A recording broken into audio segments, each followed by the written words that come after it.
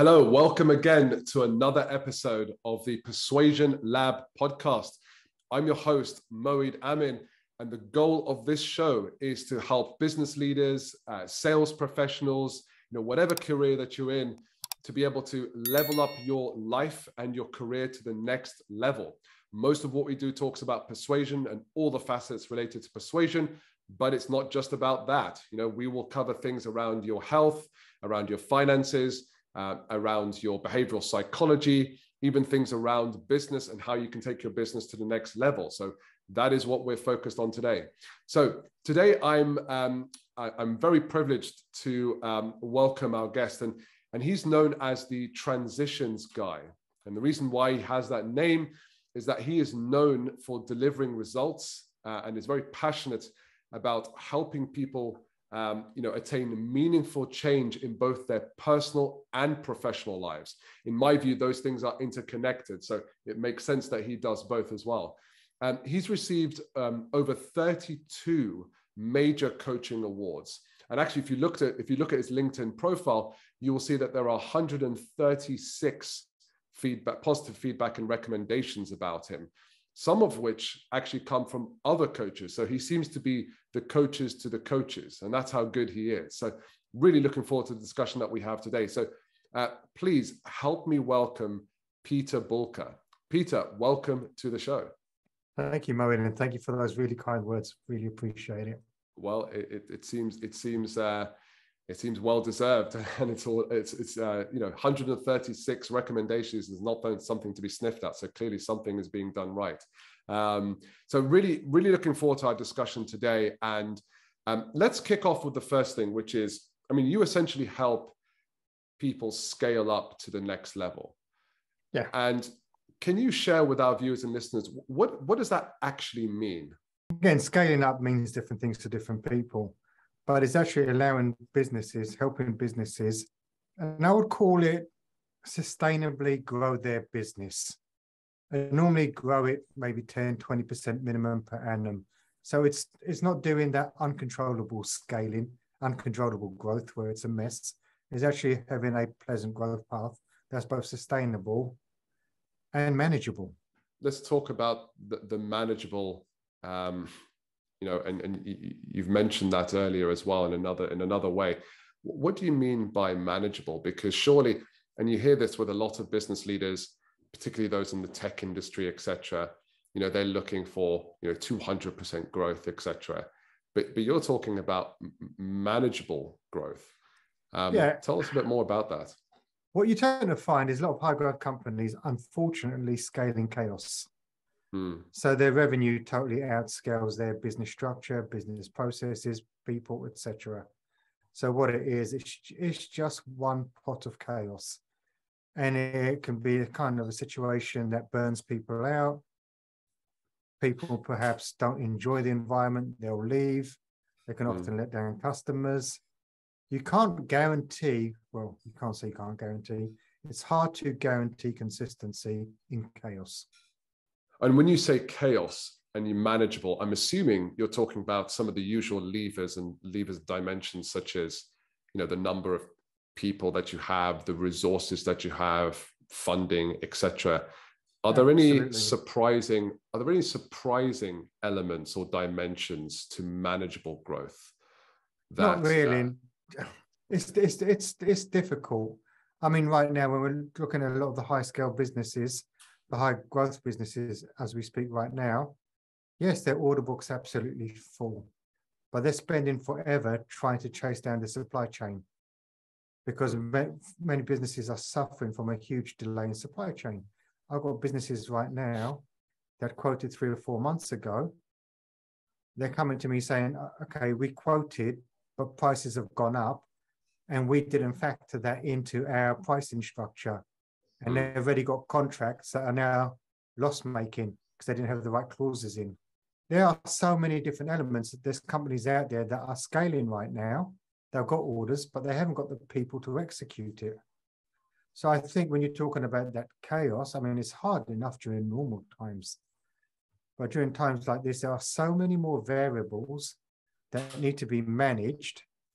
It can be quite stressful not just for the entrepreneur themselves, but for the teams having to sort out the problems or be right in the middle of the problems.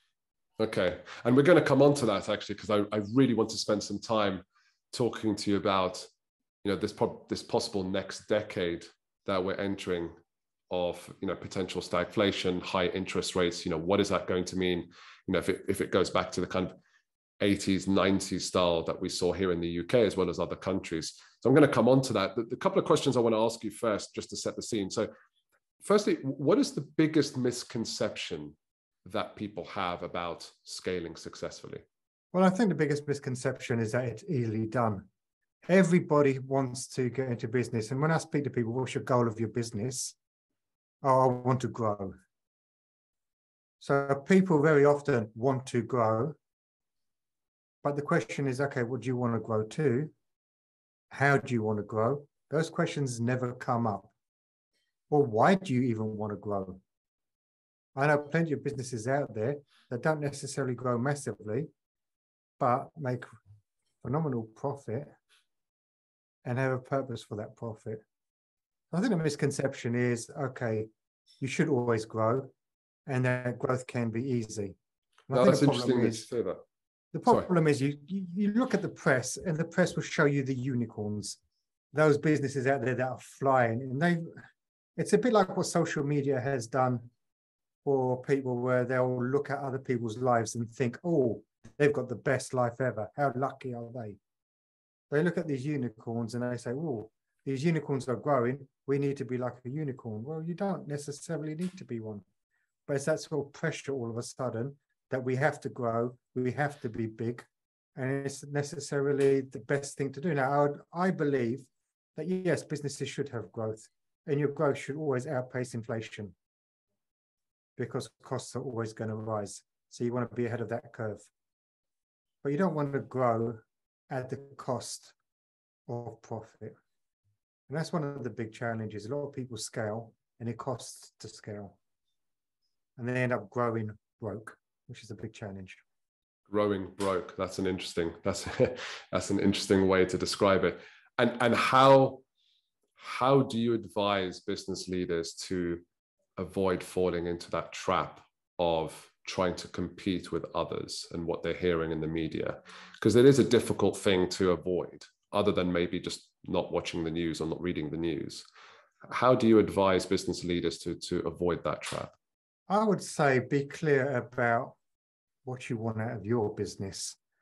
I mean, the majority of people out there in business are privately owned SMEs. And there's the challenge. You see, a lot of the stuff we see purported in the press is your blue chip companies watched by SME business owners. The reality is, when you've got your own business, it normally is there to serve a purpose. Be clear what that purpose is. Be clear what you want out of your business. Be clear what you want out of your life the nice thing about owning your own business is if you clearly define what goals you want to achieve in your life, then you can tailor your business to help you achieve those goals. So essentially you're describing the why. You know, what, mm-hmm. what is what is your why and how does that drive you? And therefore structuring your business according to that why. So the the initial the initial thought that came into my mind is can that not easily become very selfish or self-centered on the founder's part? So as they scale the business if their why is pretty selfish then that may harm the employees that they hire as they scale. Possibly. I mean at the end of the day a good leader a good leader out there will treat their people well. Now when we talk about selfish you may have an entrepreneur that doesn't want to scale massively and wants a standard of living. Mm. They want to be able to spend time on holidays with their family. They want to have experiences. And therefore, there's nothing wrong with them structuring a business that helps them have that. It doesn't harm the employee. I think the challenge is that most of the time, business owners harm themselves because they they run a business for everybody else but themselves and therefore run their business in a stressed and unhappy manner. And if the owner isn't happy and motivated, I would say that's probably a lot more harmful to employees than being selfish in terms of knowing what you want and being crystal clear how to get it. That's really interesting. Can you give some examples of when founders have run the business for others but themselves? I'll give you an example. So you see it very often in generational businesses where they come in, they take over the parents. It's not really their passion.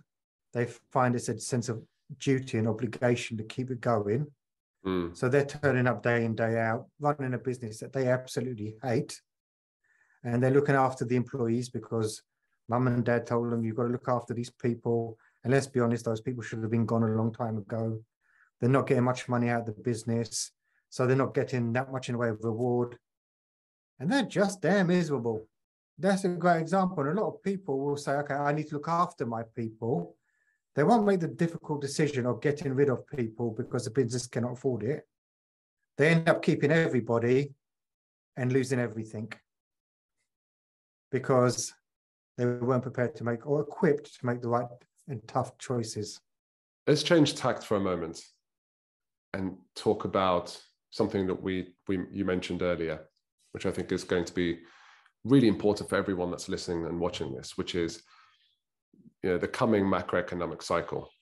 Um, you know, this is a very, I'm not going to say very different or unprecedented because there may be some elements that are, but we, you know, certainly, certainly my my parents and grandparents have gone through some of these things before.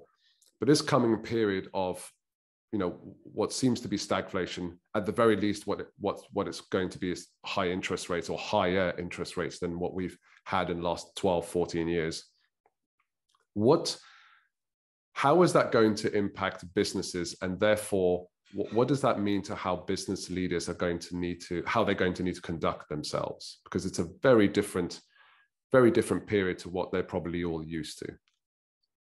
Yeah.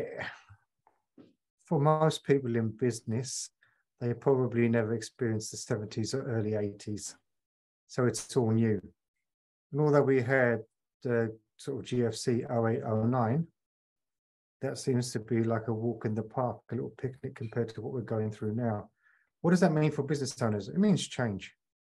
Fundamentally, it means change. I mean, you look at the government, we have to revitalize the high streets. No, we don't. Why do we have to revitalize the high streets? Let's face it, you know why high streets are declining? Because people don't visit them anymore the world has changed. And I think if we keep our legacy thinking, trying to hold on to the past, that's going to be the that's going to be the kind of behavior that will damage businesses. At the end of the day, if we're thinking things will go back, things never go back, things go forward. Now, what we need to start thinking is where are the opportunities going forward? And I think we're quite fortunate. If you look at today, the world of the internet, where in the 70s and 80s, it was kind of localized business. You were lucky if you were national. These days, we we operate in a global economy where we can operate global locally. So I think what we've got to start saying is to ourselves, the market is huge out there. Let's say that the UK may be suffering. Well, can we offer products or services to other parts of the world that are not necessarily suffering. Let's think out the box a little bit. We don't have to just keep doing what we're doing. There is so much opportunity out there. And yes, there's going to be industries that start to fade away. But as one industry fades away, new ones come in and take their place. So, as an entrepreneur, we need to be looking for the opportunities, not necessarily the problems. Maybe if I challenge you on this, because everything that you say in theory right sounds well it sounds fair sounds it, it sounds hmm. clear but practically that can be very hard i, I, I mean I, I, have a background in neuroscience and and i know that after about 25 you know the process of neuroplasticity which is the fundamentals of change etc it's a gated process. It's a difficult process for a lot of people to do it. You don't have to be a neuroscientist to know that change is quite difficult. How do you advise people to make those changes that you talk about particularly in an environment of high anxiety, high stress, which doesn't always lend itself to you thinking creatively and in the right way sometimes. You know, you're coming from a place of fear and pressure, which is kind of contrary to, to kind of what you're describing, describing, which is around looking at opportunities. So how, how do you advise people to actually start to approach this process of change? Okay, get rid of the stiff British upper lip first and foremost. Yeah. You see, we've been brought up, the culture is, well, we've just got to battle through it. Well, it doesn't have to be a battle. Who says that you have to do this journey alone? You don't have to do this journey alone. I mean, today there are plenty of advisors out there, there are coaches. You don't need to have all the answers. I mean, you're going into a period of the unknown doesn't mean you're going to have to have the answers about the unknown. You've just got to have the right questions and the right people to ask those questions to. Start collaborating, start making use of many other resources that are out there. If you suffer from anxiety, which so many people do, especially during lockdown, the whole COVID changed mental health, that's for sure. How many people out there actually said, you know what, I need help. I'm going to go and get myself a psychotherapist or a psychologist, and I'm going to work through the challenges that I'm facing so that I'm better equipped to deal with them. Yeah. At the end of the day, we are the only species on the planet that can truly determine our future. If I chose today to commit to becoming a doctor, I could enroll into medical school, apply myself, and in four years' time qualify. Only species that can do that. So we have choice. Doesn't mean that choice is easy, but then we need to make a different set of choices. Find the people that can help you. I'm going to come on to well, how? Let, let's start that first. How do you go about finding the right people that can help you? I know it sounds like an obvious question, but I've spoken to so many business leaders or, or, or, sales professionals out there. They know theoretically or in principle they need to find people that will help them, but they struggle. They seem to struggle to be able to do so.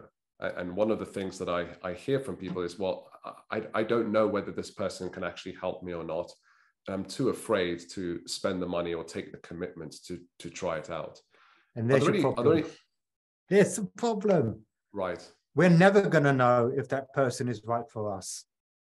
How often have we got a trade person round and they've sucked? They've been absolutely awful. Oh, yeah. But it doesn't mean that we're not going to get that job done because that job needs doing. So we'll go. And when we do find a good person we can rely on, believe you me, we hold on to them like there's no tomorrow, right? Hmm. We're not keen to let them go or anything.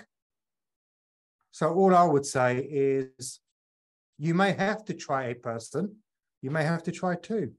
I mean, do your research. I mean, you've got websites, you've got testimonials, you've got lots of different reference points you can choose to make a good decision. But the decision has got to be to commit to trying something. It's like accountants. Not all accountants that you end up working with are great accountants. Your first accountant may not be the right fit for you. But somewhere down the line, you'll find that right accountant. You've just got to keep looking. No different to hiring an employee.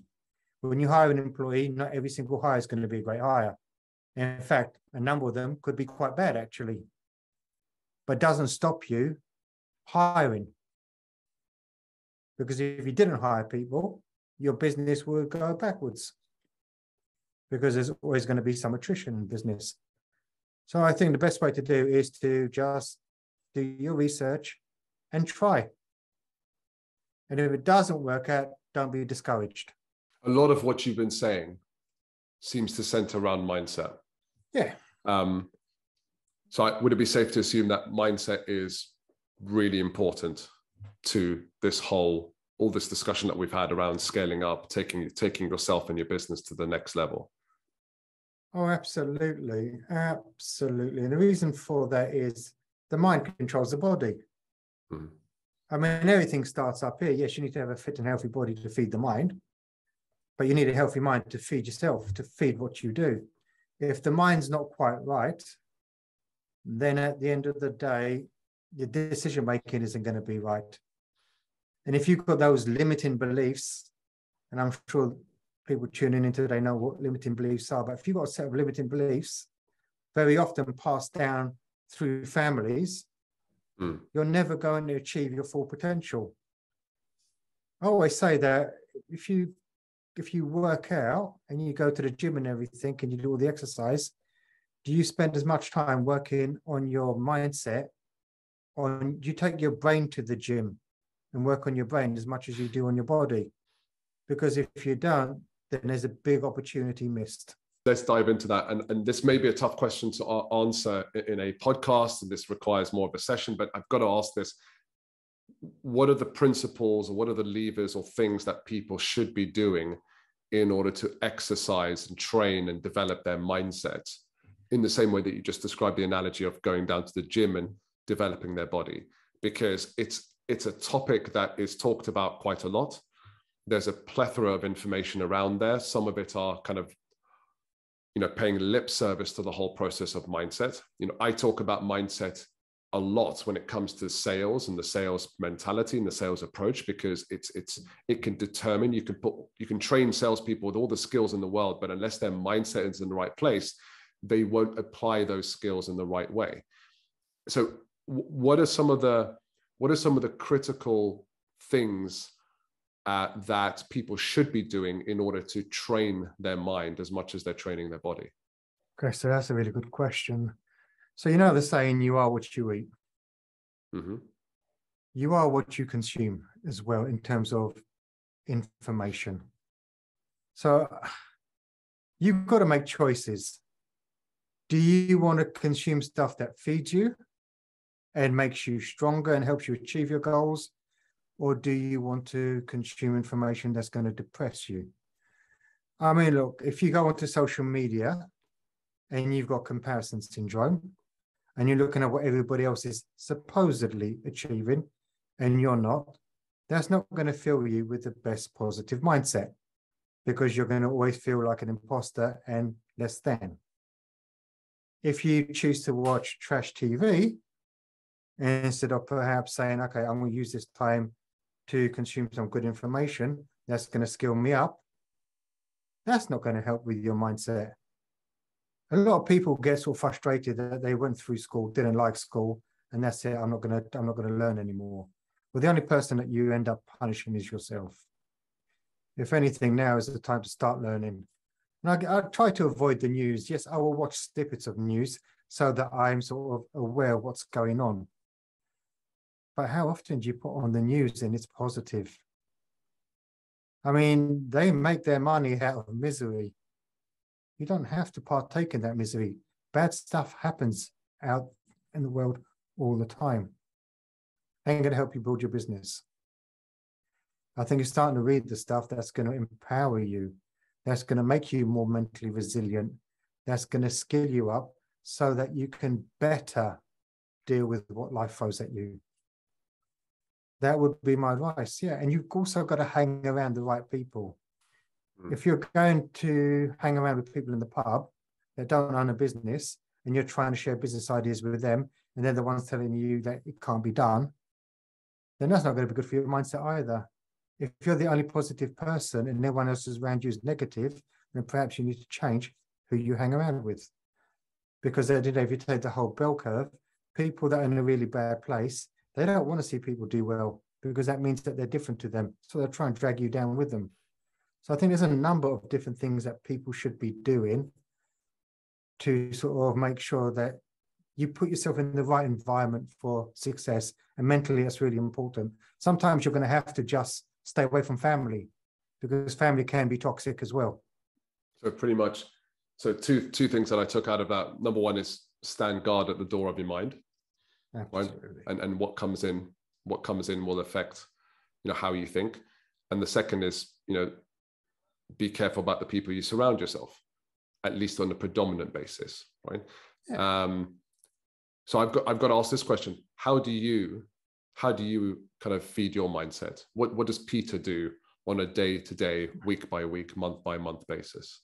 So I've got a couple of things. So I've had a psychotherapist in my camp now for close to 15 years. At the end of the day, I am only human. And I will suffer from anxiety, stress, and all the things that we all go through. I have a person that I can rely on that will help me work through those things and make sure that I'm not consumed by them. I have a couple of coaches in my corner, four coaches at the moment, helping me with different areas of my life and business, keeping me on track.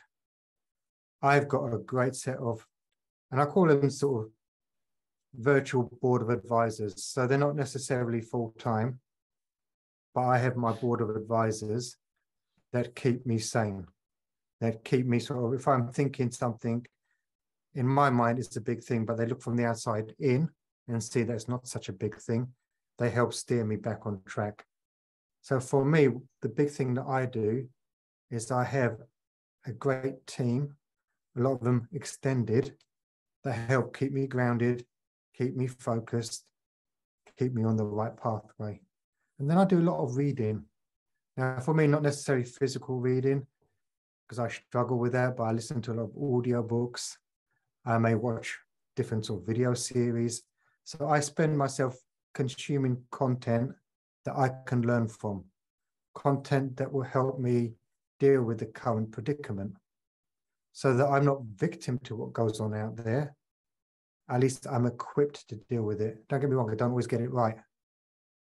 But I stand a better chance than a lot of people because I've done that work.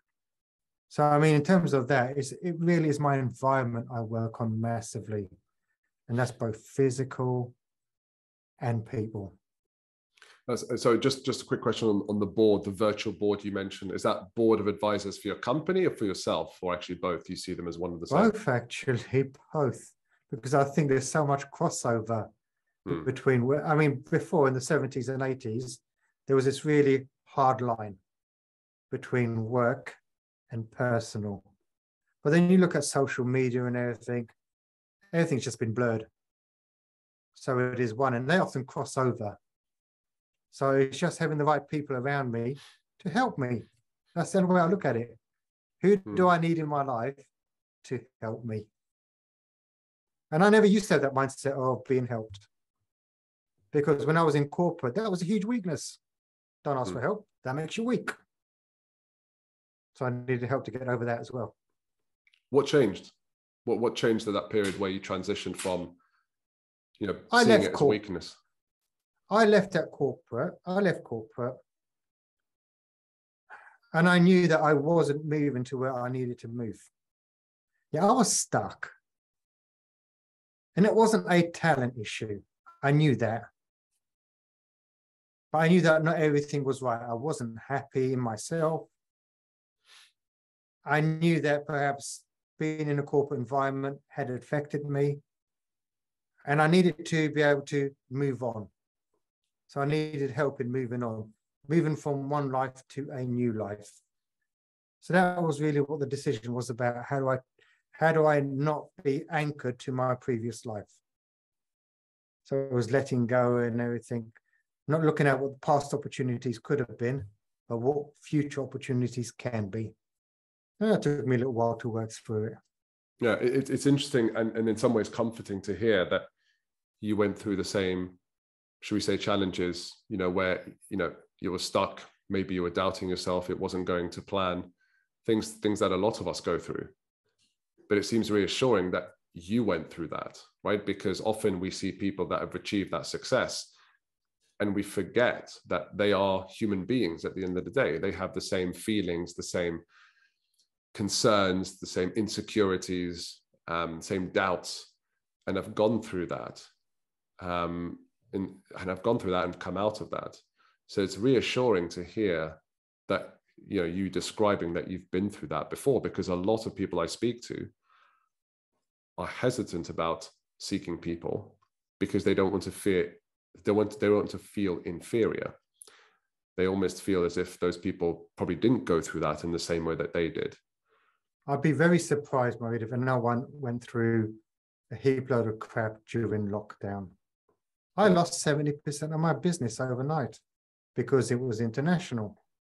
I mean if that's not enough to start keeping you up at night i don't know what is And the hmm. uncertainty around that, even and the whole thing around being displaced, all of a sudden having those freedoms taken away from you. Of course, they all bear on the mind. I know so many people that found the whole lockdown process tough. Whereas having the people around you to work through, that's a great example of working through.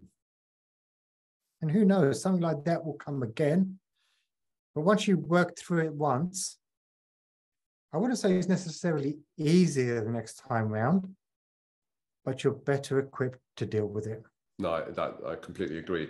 And and how and, and th- I appreciate this is going to be different for different people. And we go back to, you know, what you described right at the beginning, which is, you know, you've got to understand your why and, you know, what you want out of this. So it, I, I, the question I have in my mind is how much time should business leaders, whether you're an entrepreneur or, or a leader of a function like sales or finance or HR, whatever it might be, how much time should you spend working in the business compared with working on the business? It's a great, listen, that's a really great question. Let's look at it slightly differently. If you go to the gym and you want to get that really athletic, muscular physique, well, if you just train once a, one hour a week, it's probably going to take you a couple of decades if you ever get there to get that physique. Whereas if you apply yourself and you're training three or four times a week, you've got a great diet and you're highly committed, you'll get there a lot quicker. It's no different to working in on your business. If you work on your business just a couple of hours, yes, there's going to be a benefit to the business. Of course, if you work on your business far more, then of course you're going to have a different set of results because you're doing the, the work of a business owner. Because it's never the job of a business owner to work in the business. The job of the business owner is to learn to structure the business so it can run without them. If your business cannot run without you, and heaven forbid something happens to you and you're incapacitated, the chances are your business is finished. Well, that's neither fair on yourself, your family, or your employees. So you probably owe it to yourself, your family, and your employees to structure the business to make you redundant, because then you know it can function and grow without you. And that would, for me, be the job of the owner, the entrepreneur. Hmm. No, I love that. I love that, and that makes complete sense. So, what about what about those people who are kind of just starting out, right? Where it's just them right now, maybe one other person, and right now, I would study as much business as you possibly can. Go and find yourself a mentor. Go and learn very, very quickly. Find someone to be your catalyst to learn and grow. Because you can do it the other way, where you learn from your mistakes. That will slow the whole process down and cost you a lot more money in the long run. That's how most businesses learn, though. They learn through mistakes because they only know what they know. So my advice is always go and find out what you don't know. Go and speak to people that have done it. Go and speak to the people that know how to do it. Learn from them. So I, I get that, but my question was more around how much time should those individuals spend on working on the business versus in the business, right? Because at that early stage, they're in the business. I mean, people use the term hustle and grind. I don't really like those those terms, but you know they they're, they're working hard to grow the business to a level where they can start to scale and hire more people whether that's funding or whether that's doing so organically right and bootstrapping so in those circumstances peter how, what do you advise individuals solopreneurs how should they be spending their time working in the business versus on the business you're probably going to find you've got two jobs your day job's working in the business where you do all the execution and everything and you work you work as a job. It's a job, basically. It's not a mm. business. When you're working in the business, it's a job. So you'll do your job during the day or night, depending on what the business is. And then outside of that, you need to work on the business. So it's actually saying, okay, well, you can't, if orders need to get out and you're the one doing it, well, you've got to do it. But then you've got to have the discipline to say, okay, in the evening, I may not watch TV I may dedicate two or three hours and I work on the business. Now, is it fair? Probably not. Is it the reality? Yeah. Question is going to be at which point do you want that freedom? If you don't put the time in and do the learning and working on the business now, it'll just take you a lot longer to get your freedom. And that's it. I love I like what Jim Rohn said. Jim Rohn said something really, one of his quotes I love work harder on yourself than you do on your job. Yeah. And and this is the principle, isn't it? Work harder on yourself. So if you're doing your job, then work harder on yourself outside of those hours. So uh, yeah, Peter, I mean, what you said around discipline was really resonated with me because uh, as a solopreneur, it's very easy to get caught in emails, you know, working in the business, marketing, all the stuff like the, the massive to-do list that you'll have, rather than working on the business. So I think what you said around there around discipline was uh, was really, really valuable there. Uh, and, and it does take that discipline to make sure, you know, and say, say to yourself, look, I know I have all these other things, unless they're urgent, you know, if I don't deal with this and do this every day or frequently, then I'm going to be stuck in stuck in the cycle for the next 10 years, 15 years, and I probably never get out of that. So that that really resonated with me because I've I've been through that, right? I have to say. So um, and I wish I I wish I had that discipline a lot earlier. Um, so think, thank you for sharing that. Right, I think one of the big challenges there as well is people convince themselves that answering the emails and doing all that stuff outside of working hours is working on the business when it really isn't. They convince themselves, yeah, but I'm doing work on the business in the evening. No, they're still working in the business. You're just doing it from a different location. It's making sure you're doing the right things on the business in that time. And so, just to clarify for our listeners and viewers, can you give some examples of what, what's on the business versus in the business? So, we talked about in the business being, you know, delivering orders, fulfilling orders, emails, all that kind of stuff. Can you give us just some examples about working on the business? We've talked about on yourself, like learning things, etc. What about on the business? On the business could be planning, doing some planning on the business. Maybe a 90 day plan, working through your 90 day plan, looking at how, if you've already got a 90 day plan in place, what's progress like against a 90 day plan? It could be, well, I need to learn about marketing because I want to run a campaign. So I need to put some time aside to skill myself up so that I'm better equipped to making sure that if I do do a campaign, it stands a better chance of succeeding. So it's things like that. It could be working on the business, being well, part of the skill set I need is I need to start to become better networked. So you may, you may be going to networking events, maybe something like an IOD or Chamber of Commerce. Mm. They're just little areas. You may be saying, okay, there is an industry conference coming up.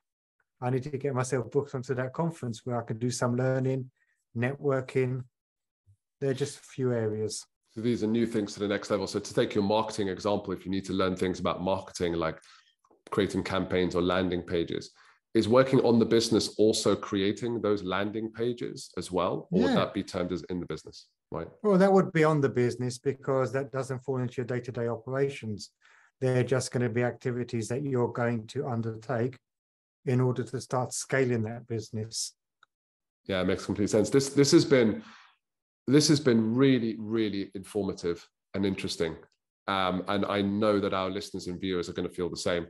I have a couple of questions to quickly ask you. Number one, what, you know, apart from yourself, uh, what experts or authors or books would you recommend that our viewers and listeners should uh, should acquire? Sure, it's probably too much of a big topic because I would say within each area there are absolutely phenomenal experts. So I'll give you an example. If we're looking at marketing today, my go-to experts on marketing would be Donald Miller, Marcus Sheridan. They're, they're the two go-to for me right now. So I'd read all their material. I sort of subscribe to their podcasts. I consume all their content. If you're then still looking at vulnerability, emotional intelligence, I really love the stuff of Dr. Brene Brown. So I like her stuff. So I think it's finding the most relevant people in the subject matter you want to become expert in or you need to skill up on. So if it's looking at, so right now, I'll give you an example. We're looking at sort of inflationary pressures on a business. The expert out there is Hermann Simon. He's the author of the book Pricing, The Confessions of a Pricing Man. He also wrote a fantastic book called Hidden Champions. That was a great book on strategy. So I look at the people out there that are leaders in their field. Jim Collins, good to great, phenomenal when it comes to discussing company culture. No one better to talk about core values than Jim Collins. So I think you've got to tailor your learning to the learning. What learning do you want to? Then you choose, you choose the right person for that learning. that was really valuable. Uh, thank you for that. Um, and the other question is if you think back to the younger version of Peter, what do you wish you would have done more or done differently in your 20s? So much. Oh, so much. Look, unfortunately, being young, hormones play a huge part. You think you know it all when you very much don't know enough. What do I wish I did? I wish I'd surrounded myself with people that that encouraged me, that helped me to grow, than being people that I was in competition with it was always chasing. It was always, oh, these these are my peer group. I need to sort of beat the shit out of them, pardon my language, so that I get the promotion.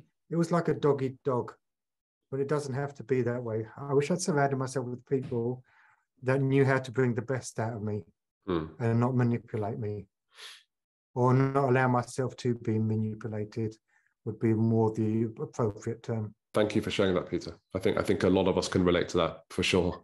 Um, how can uh, how can our viewers and listeners learn more about you and get in contact?